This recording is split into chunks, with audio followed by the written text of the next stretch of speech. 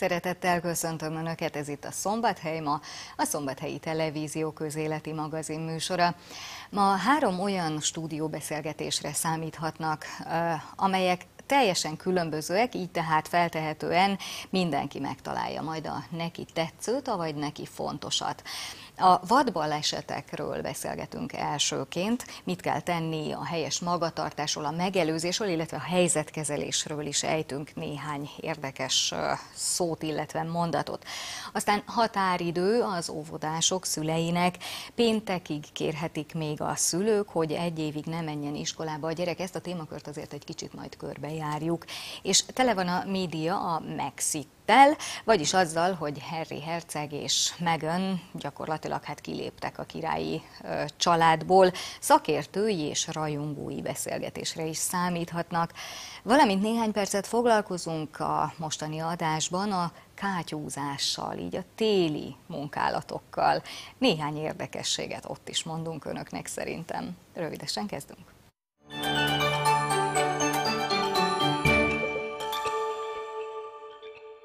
Szeretettel köszöntöm a stúdióban vendégeimet, Unger József, közlekedési, közlekedésbiztonsági szakembert, illetve Nagy Lászlót, aki a, az OMVK Vas megyei területi szervezete Vadvédelmi és Vadgazdálkodási Bizottságának elnöke. Szép estét kívánok! Köszönjük! No, akkor tehát hogy is van ez két különböző szempontból? Vadbalesetek. Valóban egyre több a vadbaleset a közutakon, és hogyha igen, akkor mit kell erről tudnunk?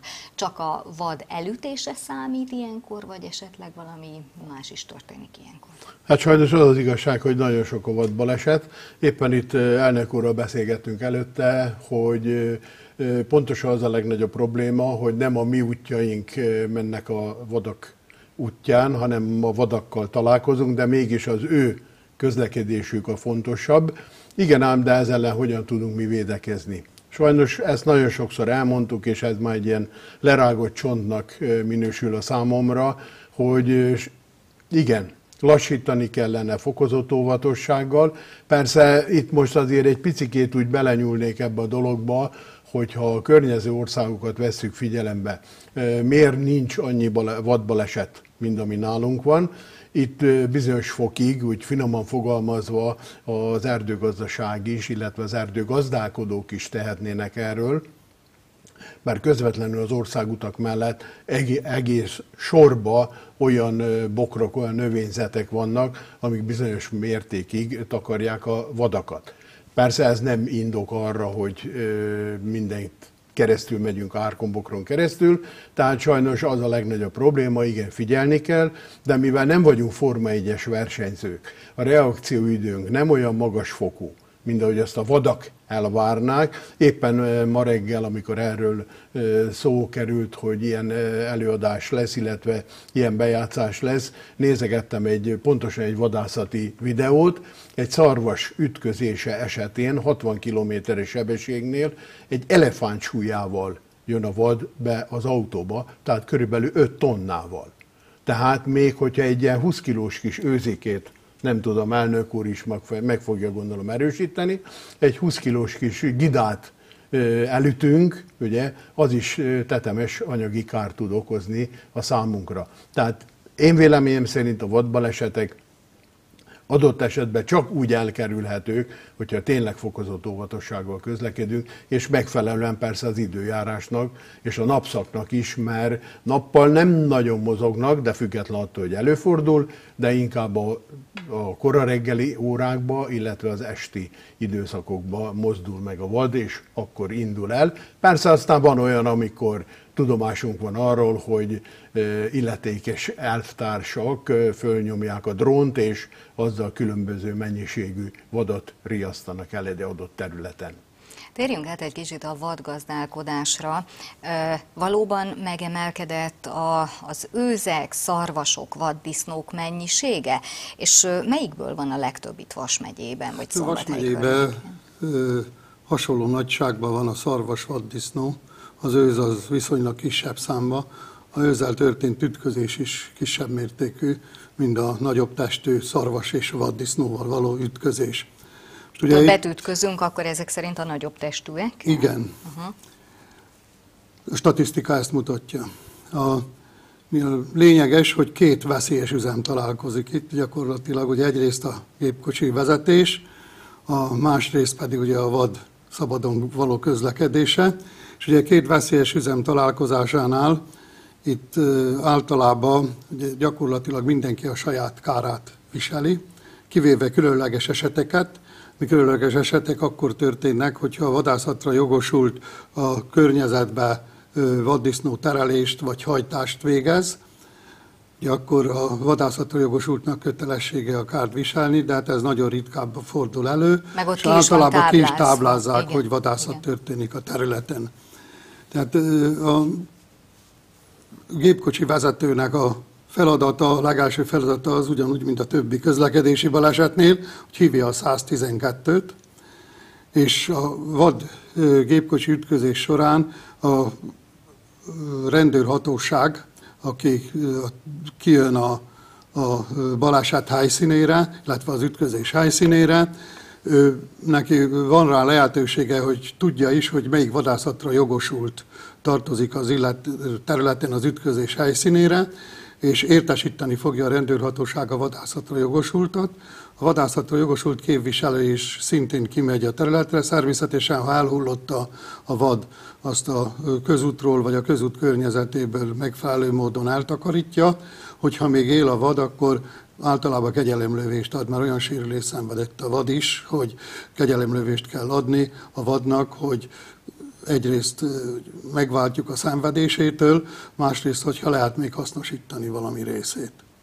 A rendőrség minden esetben kell értesíteni a rendőrséget, ha ilyen történik? Akkor is, hogyha, akkor is, hogyha a vad elmegy, vagy hogyha elhullott? Vagy Hát hogy az az igazság, ez? hogy a vad elmenetelekor, tehát a ütközés megtörténik, ugye mivel a gépkocsiba történik anyagi káros sérülés, nem bizonyítható.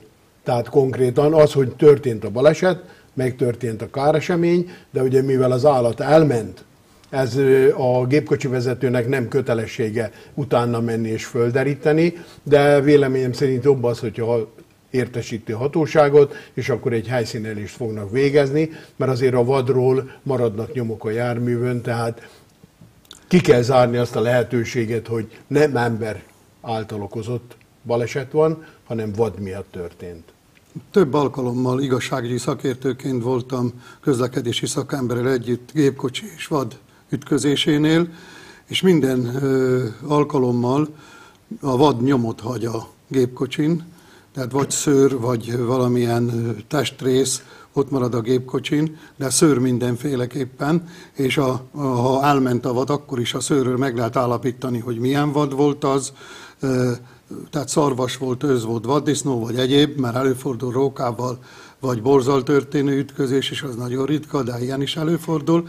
Tehát meg kell állapítani azt, hogy egyértelműen vad ütközés történt, ezért nagyon jó, hogyha a 112-n értesítjük a rendőrséget.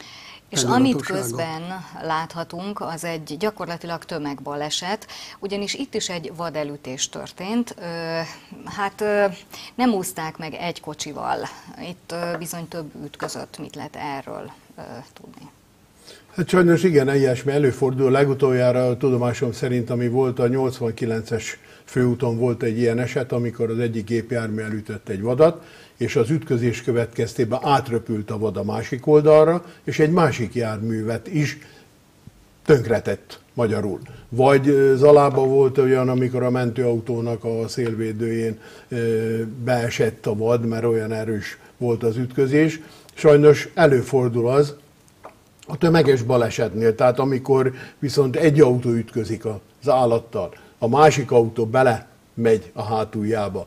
Ugye akkor inkább, hadd mondjam, azt inkább ilyen vezetéstechnikai probléma, amikor nem tartjuk be a követési távolságot, ami nem nagyon jellemző mostanában sajnos a járművezetőkre. Ezt ki kell mondani, mert mindenki bizik a saját reflexébe, hogy az utolsó ezred másodpercben is tud reagálni arra, ami történik. Meg, hogy nem történik Nem, semmi. Így van, nem működik, nem működik. Tehát főleg ilyen helyeken, ahol vad mozgás is észlelhető, vagy előfordulhat, tehát számítani kell rá, mert napi szinten találkozunk olyan esetekkel, amikor mi olyan tempóba közlekedünk, hogy számítunk a vadnak a megjelenésére, de észreveszik, hogy a másik autóstársunk az abszolút figyelmen kívül hagyja ezt a jelenséget, és majdnem a saját sebességünknek a duplájával közlekedik ezen az utcakaszon.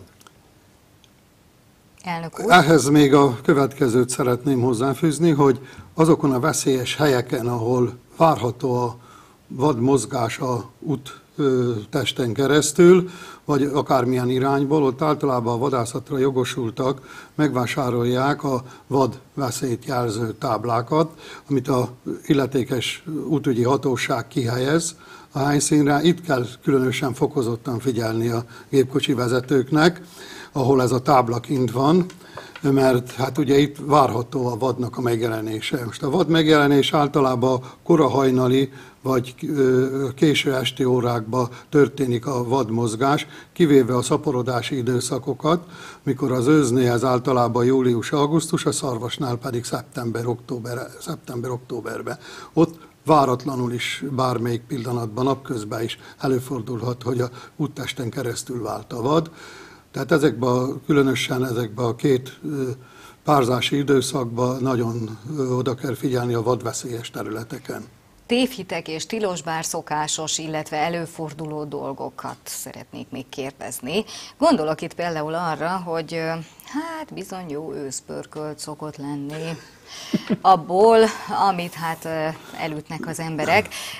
Meséljünk már erről egy kicsit, mert azért ez nem egészen törvényes dolog. Hát ha elütötte a fadat a gépkocsi vezetője, akkor, amint az előbb mondtam, kötelessége értesíteni a rendőrhatóságot, hogy a legegyszerűbb a 112-ös hívószámon, és ha nem értesíti, mert kisebb a kár, vagy nem történt különösebb kár a gépkocsiba, és úgy viszi el az őzet, ez lopásnak számít. Mert egész addig, amíg él a vad és fut, addig a magyar állam tulajdona. Még vannak-e olyan tévhitek, amelyekre esetleg érdemes felhívni a figyelmét az embereknek? Megmondom őszintén, inkább arra hívnám fel a járművezetőknek a figyelmét, ugye mert van egy olyan esemény, nem tudom, majd elnök úr is gondolom megerősíti ezt, hogy amikor egy vad elütés történik, és adott esetben ugye nekem olyan biztosításom van, ami fedezi magyarul a káromat, tehát van egy kaszkó biztosításom, ugye, abban az esetben az anyagi káros balesetet úgy megúszhatom. Na de viszont, hogyha olyan, hogy nincs nekem csak a sima felelősségbiztosításom, ugye akkor az a legnagyobb probléma, hogy a vadásztársaság mind ilyen, ő felügyeli az állatokat, és ez sajnos nagyon sok embernek nincs a tudatába, hogy a vad, nem tudom, elnök úr megerősíti, a vad a magyar államnak a tulajdona. De a magyar állam ugye mivel nem köt biztosítást, de kiadja a vadásztársaságoknak, és nem azért adja ki, hogy ők úton útfélen lelőjék a vadakat, hanem tenyészék őket, figyeljenek rájuk, a sérültebb állatokat ugye természetesen azt el kell ugye különíteni a többiektől, tehát nagyon sok autósnál előfordul az, hogy a vadásztársaság egy anyagi igényel áll szembe, elütöttem egy szarvasbikát, trófeás bikat, nem tudom mi a, a kritériuma ezeknek a dolgoknak, de előfordulhat az, hogy akkor azt fogja mondani a vadásztársaság, hogy uram, önnek is van kára, de nekünk ez a szarvas X mennyiségű eszmei értékű pénzbe kerül, szíveskedjék ezt is kifizetni minden további nélkül ezt nekünk rendezni kell. Tehát ilyen is előfordul, tudomásom szerint volt is már ilyen helyzet, ezért kell a hatóságokat minden esetben értesíteni, és akkor majd elválik, hogy ki milyen kárigényen lép föl a másikkal szembe. Sajnos itt a legnagyobb probléma, ugye, hogy a vadakra nem akasztunk egy bilétát, hogy biztosítva vagyok, szevasz, tavasz, és akkor ugrok neki az autónak az oldalának például. Nem kell elütni, mert volt olyan baleset, amikor a, az autó ajtajának ugrott neki a vad. Na most kérdezem én ezt, hogyan lehet ezt kivédeni? Nem vagyunk artisták. Még az utolsó egy percben láttam, elnök úr bólogatott. Igen, megerősítem szakértő véleményét, hogy úgy, amint említettem, hogy a két veszélyes üzem találkozásánál mindenki viseli a kárát. Tehát előfordul olyan, hogy milliós nagyságrendű vagy értékű vad történik elütésre, és ugye ez a vadászatra jogosultnak a kára. Természetesen a gépkocsiba is ott több milliós kár is lehet ilyen ütközésnél. Az pedig ugye, hogyha nincs ez a különleges eset, amit először említettem, akkor a, az pedig a gép jármű vezetőjének a kára. Tehát itt a két találkozásnál ez van, és megerősítem a szakértő véleményét szintén, hogy olyan esetek is előfordulnak, amikor oldalról, de olyat is láttam már én több alkalommal, hogy keresztül ugrott a szarvas a gépkocsin, és a gépkocsi teteje lett megsérülve. megsérülve. Utána kitörte a lábát a, a szarvas, ami leesett, és úgy kellett elejteni a hivatásos vadásznak, de ilyen is előfordulhat. Azt képtelen kivédeni a gépkocsi vezető, hogyha így jön a vad.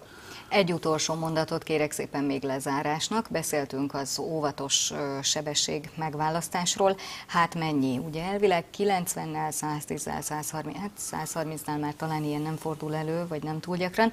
Mennyivel kellene ö, mennünk tulajdonképpen, hogy meg tudjunk állni biztonságosan, el tudjuk kerülni ezt az ütközést? Őszinte legyek. Nem tudom megmondani, még én sem mert eh, sajnos ez kiszámíthatatlan esemény, tehát eh, bármilyen autón van, bármilyen technikai felszereltséggel rendelkezik, tehát itt gondolok az ABS-re, az ESP-re, tehát a különböző elektronikai beavatkozásokra, lehet, hogy majd amikor bejön az önvezető autó, az sem fogja ezt a balesetet kivédeni, mert nem tudja, nem tud rá reagálni. Itt nekem az egyéni véleményem az lenne, akár a vadásztársaság felé, akár pedig a, az erdőgazdálkodók vagy gazdaságok felé, hogy inkább az út melletti területeknek egy kicsikét a megszélesítése, egy 3-4-5 méteres, már avval is egy teret nyerünk, hogy az illető egy pásztázó mozdulattal megy végig az úton, az adott útszakaszon, látja a táblát, hogy ki van téve, hogy vadveszély, és akkor már is tud rá reagálni. Persze aztán vannak olyanok sajnos, akire azt lehet mondani, hogy engem nem érdekel, én úgy megyek, ahogyan megyek, amikor megtörténik a baj, akkor viszont már ugye megy a siránkozás és potyognak a könnyek, hogy uram, bocsán, mit követtem el, vagy mi történt velem. Nagyon szépen köszönöm a gondolataikat, és köszönöm a jelenlétét Unger József közlekedés biztonsági szakértőnek, illetve Nagy László elnök úrnak. Köszönöm szépen, köszönjük. hogy itt voltak. Köszönjük. Mi pedig megyünk tovább, de azért maradunk az utaknál, ugyanis télen több kátyú keletkezik az utakon. Az a hír járja, hogy az ilyenkor elvégzett kátyúzási munkálatok nem annyira hatékonyak, mint a jó időben elvégzett munkák. Hát lássuk, hogy így van -e ez valóban, egy bejátszás következik. Kátyúznak a szakemberek a Gotthárd Jenő általános iskola környékén. A téli időjárásban sem gőzölög az aszfalt, amelyel betömik a kitisztított gödröt. Ilyenkor ugyanis speciális hideg aszfaltot használnak. A hideg aszfalt maga az egy jól kezelhető kátyúzó anyag, nem termikusan köt, hanem tömörítés után kerül bele és marad benn a kátyúban. Tehát uh, itt nincs szükség például útlezárásra, hanem rögtön járható uh, a, a javított aszfalt. Uh, a munkatársaink a, a kátyút először kitisztítják, tehát eltávolítják belőle a szennyeződéseket, a vizet, esetleges jeget, az is előfordulhat. Utána teszik bele magát az aszfaltot, majd kézi erővel vagy gépi erővel beledöngölik. A hideg, rugalmas anyagot először többnyire ilyen patka-hengerrel simítják a helyére, aztán végül a kocsik kereke, maga a forgalom tömöríti be a kátyúba a hideg aszfaltot. A Szova ZRT, a Szova Nonprofit ZRT építési csoportja a Szombathely megyei jogú város önkormányzata megrendelése alapján végez útjavítási munkálatokat, ilyen a kátyúzás is. Télen fokozottabb a kátyú képződés, a hőmérséklet ingadozás, illetve a folyamatos csapadék miatt. A kisebb repedésekben nappal befolyik a víz, beszivárog, ez éjjel megfagy, és ez ö, tulajdonképpen megbontja a burkolatot, ezért a meglévő kátyuknak a mérete növekedhet, illetve újak is kialakulhatnak. A téli időszakban hideg aszfalttal tudunk kátyúzni, meleg aszfalt beépítésére ilyenkor nem alkalmasak a körülmények, ilyenkor le, leállnak egyébként az aszfalt kezverő üzemek, tehát nem is, nem is hozzáférhető maga a, a meleg aszfalt. A téli kátyúzás célja kizárólag a baleset veszély elhárítása, hiszen a jó időben használatos meleg aszfalttal hatékonyabban dolgozhatnak és nagyobb felületet tudnak helyreállítani. Kátyúzásra a város mintegy 80 millió forintot költ évente. A munkálatokat a városüzemeltetési osztály és a SZOVA szakemberei végzik. A város honlapján vagy az éjjel szombathelyi mobil applikáción a gyors reagálású egységnek érdemes bejelenteni a veszélyes gödröket. A város évente 75 millió forintot biztosít kátyúzásra, és 5 millió forintot pedig ö, nagyobb ö, kátyú kárral járó átépítése, mert ilyenek is vannak.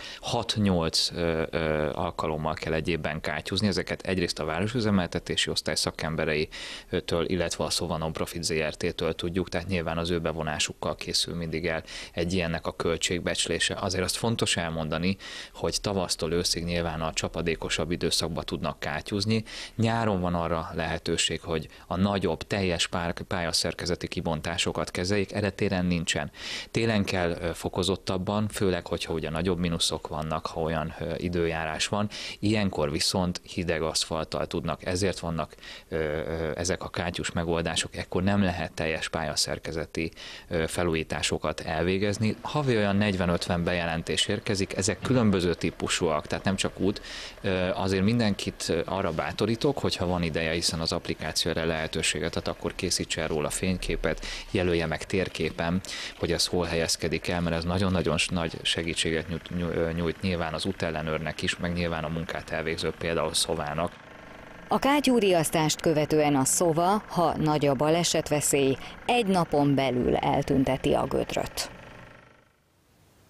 Ígértem, hogy egy határidőre is figyelmeztetjük önöket, no tehát péntekig, vagyis 31-éig kell benyújtaniuk a szülőknek az oktatási hivatalhoz azt a felmentési kérelmet, akik szeretnék, hogy hat éves gyermekük még egy évig óvis maradhasson.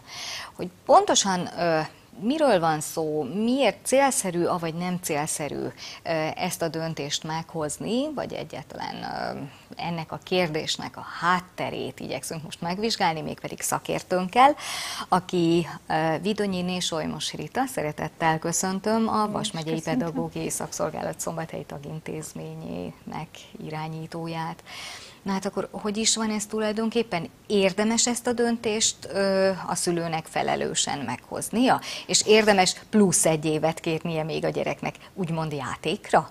Hát a kérdés első felére válaszolnék először, hogy érdemes a felelősséggel döntést hozni, arra határozott igenre tudok válaszolni, azt gondolom e fölött vitát nem kell nyitnunk. Tehát mindenképpen alaposan meg kell gondolni, körül kell járni ezt a kérdést. Nem gondolom, hogy egy hét alatt, hiszen aki felelős szülő, ha ebből indulunk ki, a babájának a megszületése óta felelősséggel próbálja követni az ő fejlődését, és azért ez egy hosszú folyamat, aminek során egyszer csak úgy érezzük, hogy iskola éretté válik a gyermekünk. Ezt honnan lehet egyébként tudni, hogy iskola érette a kicsi? Hát ez egy elég komplex fejlődési folyamat, egy, úgy szoktuk mondani, hogy biopszichoszociális érettségnek a megjelenése, amit nagyon-nagyon sok apró jelből lehet látni, akár a szomatikus változásból, a fejlődés, testi fejlődés változásából megindul a fogváltás, hogy a mozgás fejlődése milyen módon alakul, megfelelően koordináltá válik a kisgyerek mozgása. Mindenképpen először a nagy mozgását kell figyelni, hogy ez mennyire kiegyensúlyozott, mennyire kitartó, mennyire céltudatos tud lenni, és mennyire tudja szabályozni ezt a mozgást. Ezeket egyébként tesztelik? Tudjuk vizsgálni mindegyiket, hogy ne, hát amikor iskola érettségi vizsgálatot végzünk, most inkább úgy nevezzük, hogy általános állapot felmérő vizsgálatot, de hát ugyanazt célozza, hogy az iskolai tanuláshoz szükséges készségekkel rendelkezik egy kisgyerek. Ezt mindjárt szeretném is eloszlatni azt a gondolatot, hogy itt valamiféle tudást vagy ismeretet mérünk, elsősorban nem arra vagyunk kíváncsiak, hanem hogy a tudás megszerzéséhez szükséges készségeknek birtokában van-e.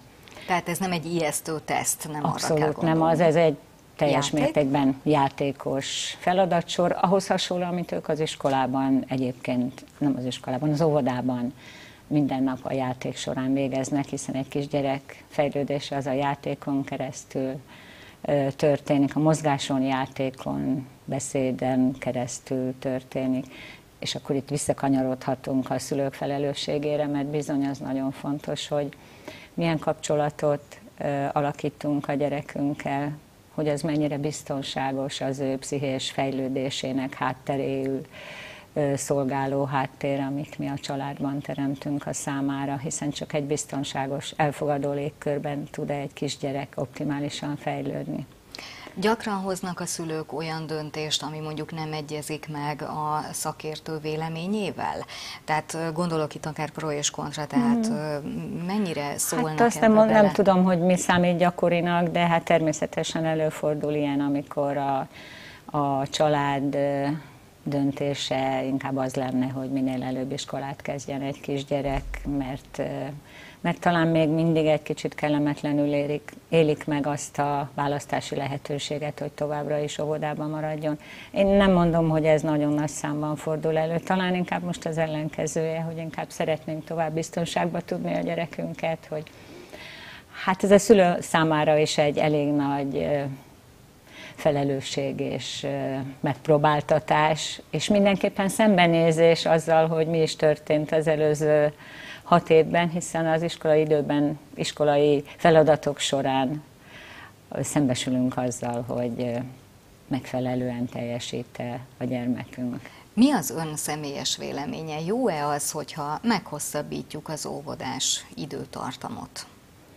Hát én határozottan azt a véleményt képviselem, ha szükség van rá, akkor mindenképpen ezt válasszuk hogyha a gyerekünk számára ez tűnik optimális fejlődési lehetőségnek. Egyrészt a természetes érés idejét meg tudjuk ezzel hosszabbítani az iskola kezdésig, másrészt tudunk a számára olyan fejlesztő lehetőségeket találni, kapni, amit igénybe véve egy kisé lehet pótolni a hiányosságokat.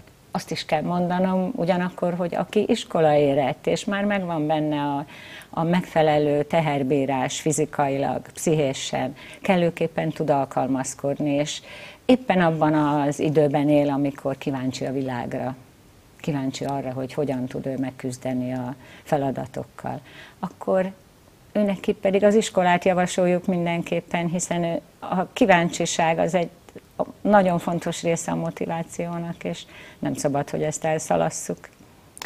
Köszönöm a válaszait. Még egyszer megismétlem a szülőknek, hogy 31-ig még van idejük azt a plusz egy évet kérni. Hogy lehet ezt megtenni, hol lehet ezt megtenni? Egy rövid választ azért kérnék szépen erre. Mind, első lépésként mindenképpen az Oktatási Hivatal honlapjára kell felmenni. Ott a közoktatás vagy köznevelés fül alatt megtalálják a a tankötelezettség, tanévkezdés dokumentumát, abban az esetben is, hogyha óvodában szeretnék még a gyermeküket tartani, abban az esetben is, ha előbb szeretnék az iskolát elindítani a gyermekük számára, mint ahogy tankötelezettsé válik. Itt van egy nyomtatvány, amit ki kell tölteni online, ez egy ilyen okos nyomtatvány, figyelmeztet, hogyha valamit elfelejtünk kitölteni, azután ki kell nyomtatni, megfelelő indokokkal, melléklettel ellátni, és postára kell adni, a cím is megtalálható ezen a honlapon. Nagyon szépen köszönöm a tájékoztatást Vidonyin és Olymos Ritának, a Vas megyei Pedagógiai Szakszolgálat szombathelyi tagintézményének vezetőjének. Köszönöm szépen. Én is köszönöm a lehetőséget. Mi pedig megyünk tovább, mégpedig egy királyi témával. Nemrégiben történt Angliában a Mexit. Erről is fogunk beszélgetni egy szakértővel, most azonban egy hobbista következik, mégpedig Nagy Péter idegen vezető. Ő ott volt egyébként Vilmos Herceg és Katalin esküvőjén is, na lássuk, hogy ő hogy látja az angolok és a királyi család viszonyát. Másfél évig éltem Londonban, hirtelen felindulásból mentem ki, és Hát mindenféle munkahelyeken dolgoztam, de hát persze Londonban az volt a lényeg, hogy nagyjából így a világ közepe, vagy hát nekem, is, nekem legalábbis az volt folyamatosan az érzésem, hogy így a világ közepén vagyok, mert lehet, hogy az ember lemegy egy, nem tudom, egy tejet venni, és olyan dolgok történnek vele, hogy ezt el se lehet képzelni. Úgyhogy én ezt nagyon élveztem, ezt az egész hangulatot, és persze az egyik, illetve két nagy esemény is volt, mikor kint voltam, az egyik a Vilmos féle királyi esküvő volt, kimentünk megnézni, ami nem volt egyszerű amúgy, mert az előtte lévő hetekben is hatalmas előkészületek voltak, illetve hónapokban lehet azt mondani, mert a londoni metrókártyák úgy jelentek meg, vagy metróbérletek, hogy rajta volt a királyi párnak a fotója, de tulajdonképpen mindenféle szuvenyír, mindenféle emléktárgy, nem beszélve egyébként a legdurvább, amit láttam, az a királyi pár képével díszített gumióvszer volt, tehát nagyjából minden. És hát az emberek így teljesen rajongásig meg voltak őrülve, tényleg. Többször kimentem az előtte lévő héten ide a Buckingham Palota környékére, és illetve Westminster apátsághoz, ahol tulajdonképpen az esküvő volt emberek voltak, nem kevesen, akik hetekkel előtte ott táboroztak, tehát konkrétan egy sátor tábor jött létre, hogy ők mindenképpen az első sorból lássák. És így, így baráti társaságok, egész családok, de valahogy, valahogy a britekben már van ez, hogy akkor szeretjük a királyi családot, és rajongunk érte, és követjük az eseményeket, tehát ugye minden évben van a királynőnek a születésnapja, most már nem is tudom hányadik, de rengeteg, eh, amit nem a saját születésnapján tart, hanem akkor, amikor elvileg jó idő van, tehát ugye június eh, környékén, és egy sima születésnapon is eh, ezrek vonulnak ki és ünnepelnek együtt a Buckingham palota előtt. Nem régiben történt egy, hát nem pozitív esemény, eddig ugye csak pozitívakról beszéltünk. Nem tudom a jelenlegi helyzetet, hogy most már nem ott élek, tehát annyira nem látom, hogy hogyan reagálnak erre a britek, de szerintem meg fogják ezt, ezt érteni. Elég furcsa döntés, de mondjuk én személy szerint valahol megértem. Legalábbis a lány szempontjából, aki belecsöppent ebbe, és lehet, hogy nem is biztosan tudta, hogy mire vállalkozik, Néha így elképzeltem, nem sokra, csak néhány percre az életemet, hogy én mondjuk egy királyi családba születtem volna, azt én nem szeretném. Tehát borzalmas lehet. Tehát, hogy nem tud az ember lemenni egy boltba, nem tud nyugodtan sétálni az utcán, nem tud nagyjából semmit csinálni, csak ami elő van írva neki, szerintem ez borzalmas lehet, és én, én megértem, hogy ő ettől mondjuk megijedt, aztán a srác, ő meg hát végül is ő ebbe született, tehát ő neki valamilyen szinten hozzá kellett volna szoknia, de hát ő meg mindig lázadó volt, tehát sokkal lázadóbb, mint a bátyja, úgyhogy szerintem ez így olyan normálisnak tűnik nekem, nem annyira hiszek benne, hogy ez működni fog. Igaz, hogy az egésznek a paparazzik voltak az oka? Én úgy tudom, hogy igen, tehát nem akartak oda, oda jutni, ahova a édesanyja. Tehát valószínű, hogy, valószínű, hogy ez, volt a, ez volt a legfőbb oka. Ez hogy működik? Tehát te láttad ezt? Hogy, hogy mennek oda? Ilyen szinten, ilyen szinten nem. Inkább azt, hogy ezek a hétköznapi rajongók. Tehát azért ott elég nagy biztonsági készültség volt több ezer rendőr, illetve hát ezek a medvesapkás testőrök, de magát paparazzókat nem igazán, tehát azt, amit így mutattak a tévében, azt nem igazán láttam, azt a részét, hogy most a rajongókat, illetve akik teljesen oda vannak a királyi családért, őket távol kell tartani, azt, azt többször is. Gyalog szoktak-e megjelenni az embereknél, piacon, nem tudom, te Hát ilyen, hogy gyalog piacon ennyire közvetlenül nem, de olyan, hogy autóval mentek el mellettem, olyat többször tapasztaltam, hát főleg a belvárosi részen. Annyit lehet látni, hogy ez egy, tehát a királyi családból valaki ül az autóban, tehát ez van az autó tetején egy, egy címer tulajdonképpen is, illetve hát azért kísérettel mennek, de hogy éppen az ki, a 16. hercegnő vagy a vagy maga a királynő, azt, azt annyira nem lehet tudni. Amiről nincs nagyon szó, az tulajdonképpen mondjuk a királynőnek, illetve a királyi családnak a valós élete. Tehát mondjuk én mindig arra lettem volna kíváncsi, hogy ők mit csinálnak. Most milyen kutyája vagy jó, azt nagyjából lehet tudni, de hogy nem tudom, milyen ginből iszza a gin tonikot, tehát, vagy, vagy hogy telik a napja. Tehát erről az, ezek az információk, ezek annyira nem, derülnek ki. Pedig ami szerintem, a kerítésen belül ami a kerítésen belül történik, az, az ott történik, és onnan az szivárok ki, amit úgy engednek, hogy ez, ez kijusson onnan. De szerintem például az is nagyon érdekes lehet nagyon sok embernek, hogy valójában hogy élik az életüket, valójában milyenek, hogy telnek a napjaik. Most pedig részletezzük a Megxit témát szakértőnkkel. Harry herceg és Meghan hercegnő ugye nemrégiben jelentette be, hogy lemondanak királyi titulusokról. Nos, hát ez nagyon sok érzelmet és nagyon sok kérdést vet fel, hogy ebből mi az igazság, és hogy látjuk ezt mi magyarok, vagy hogy látják ezt az angolok, vagy egyáltalán hogy látja ezt ön? Arról kérdezem Baróti Juditot, főiskolai docenst, az ELTE Szavária Egyetemi Központ angol nyelv és irodalom tanszékének vezetőjét. Szép estét kívánok! Oktatója, igen. Köszönöm szépen. No, tehát akkor ö, mit is lehet tudni erről a témakörről? Ön gondolom, hogy figyelemmel kísérte a híreket. Igen. Hát óriási érdeklődésre vezi mindig a királyi családdal kapcsolatos eseményeket. Hagyomány és kötelesség. Ez a két szó nagyon szorosan kapcsolódik el- elvárásként a, a királyi családhoz, de hát ez nem jelenti azt, hogy a modern időkkel ők nem modernizálódnának, és nagyon sok minden változott is. És ebben az esetben Harry és Meghan döntését a királynő elfogadta. Természetesen voltak körülötte viharok, amit megpróbáltak nem kommunikálni annyira, de a sajtót iszonyatosan érdekli természetesen, és nagyon meghatározó ebben a, az egész kérdésben a sajtó szerepe, elsősorban a bulvár sajtó szerepe. Nagyon sok mindent lehetett olvasni, most például azt is, hogy még a szuvenírek közül is eltüntették hát a párnak az arcképét. Ha már a szuveníreknél tartunk, akkor itt az asztalon is látunk néhányat, csak úgy ízelítőül, hogy egy kicsit még jobban elmehessünk Angliába, Londonba. De térjünk vissza a hercegi párhoz. Tehát valóban igaz az, hogy a sajtó nagyon rájuk szállt, és nem csak most, hanem már jóval korábban? Igen, ez nem egy új keletű probléma. Már ígérték azt is, hogy beperlik, talán be is perelték valamelyik újságot. A lényeg az, hogy, hogy valószínűleg erre szükség is van az egész imageben, hogy legyen egy jó pont, meg egy ellenpont. Ott van a William, a, a Vilmos és Katalin hercegné, akik, akik mindent tökéletesen csinálnak. Velük szemben megjelent Harry, akinek amúgy is voltak ifjúkorában botlásai. A rebellis Ő- pár. Igen.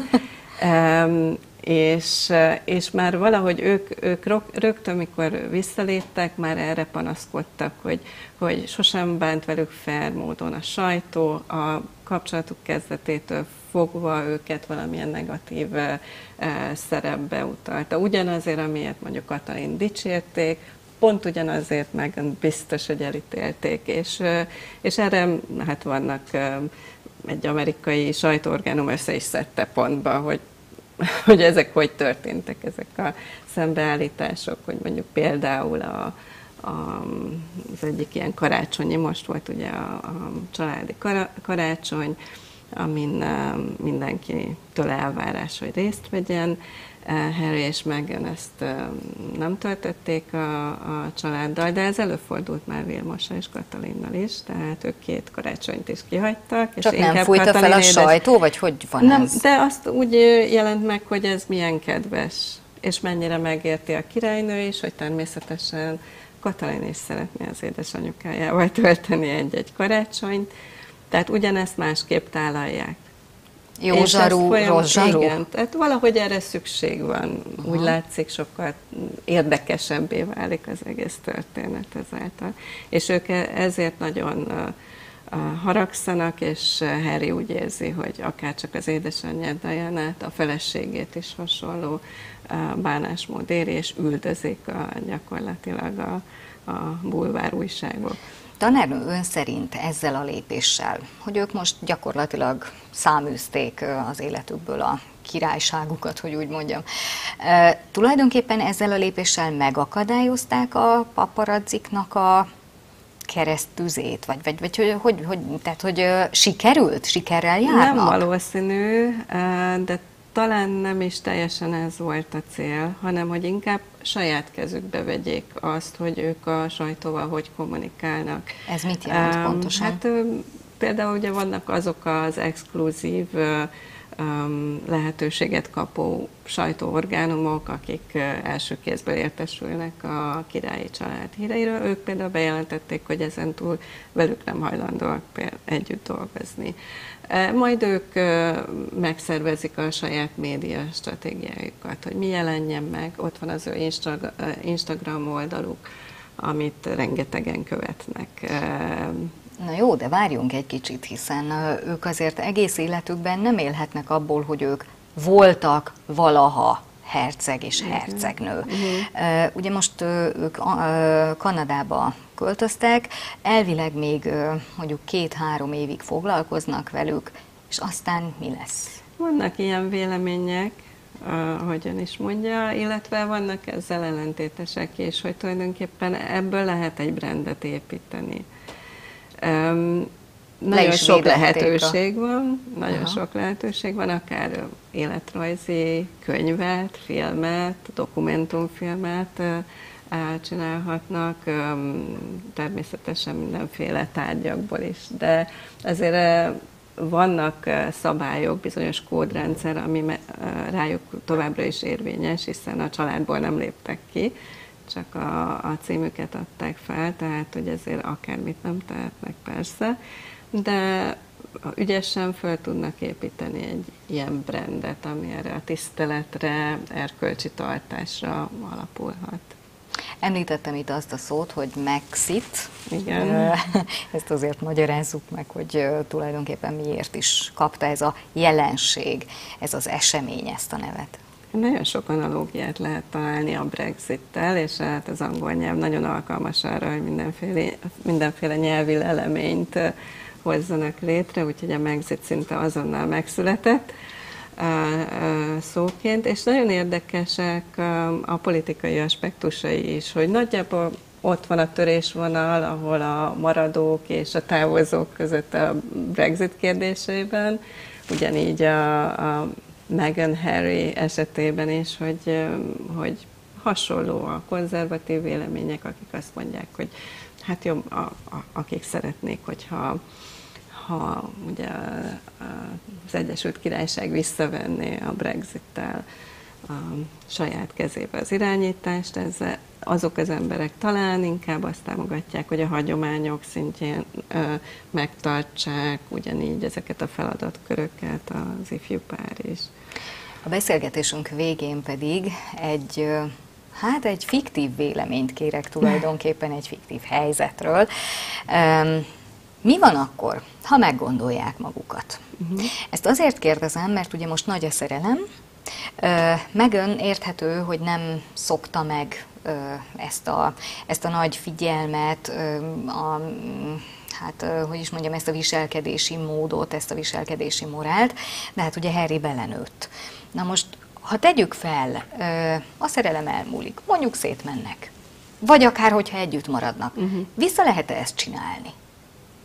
Szerintem vissza lehet csinálni, ez nem egy akkora törés, és nem egy akkora kilépés, mint az Egyesült Királyság távozása az Európai Unióból.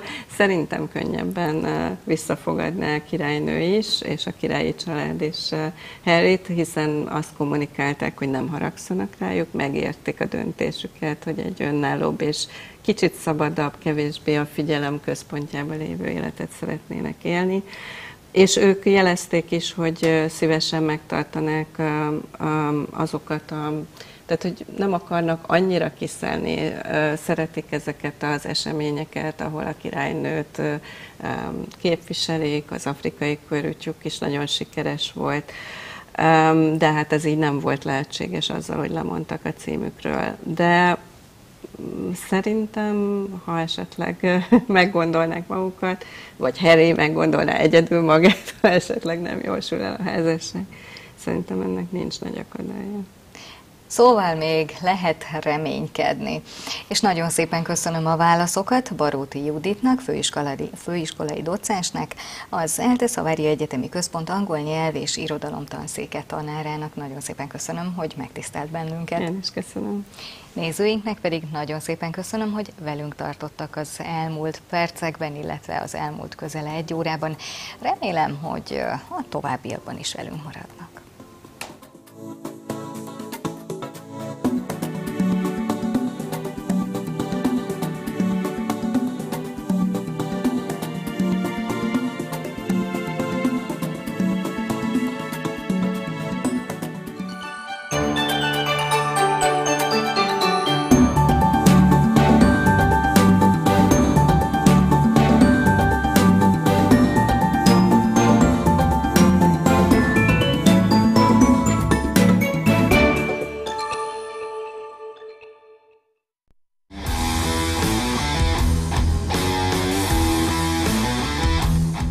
Műsorvezető frizuráját Fece bácsi fodrászata készítette.